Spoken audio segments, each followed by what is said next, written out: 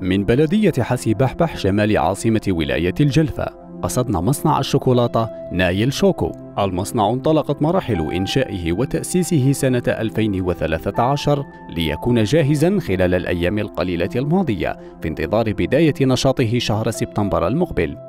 استفاد المصنع هو الآخر من منحه رخصة استثنائية ليكون بذلك المصنع الوحيد لإنتاج مادة الشوكولاتة بهذه الولاية. المصنع مصنع آه،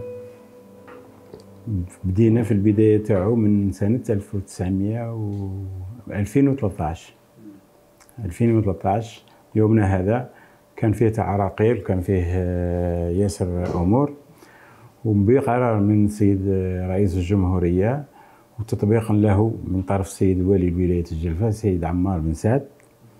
يعني في ظرف آه، قصير جدا جدا كملنا كامل العراقيل تحديناها ومشى له زين. درنا لي زيسي والحمد لله ومشى على كل حال. ما رخص استثنائيه ديناها المطابقة والصبغاي دينا كل شيء على حق. الحمد لله من طرف السيد الولي هذا كان واقف على قرارات السيد رئيس الجمهورية.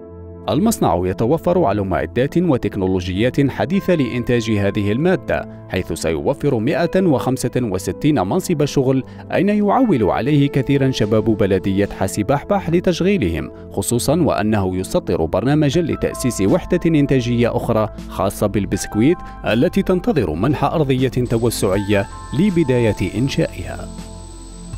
قلت المصنع يستوعب 165 عامل في sur trois équipes parce que نخدمو trois huit mais وين من البداية نبداو une seule équipe après un mois نزيدو deuxième après un mois نزيدو troisième équipe donc troisième mois يكون المصنع يخدم 24 sur 24 إن شاء الله على ربي المنتوج تاعو عالمي.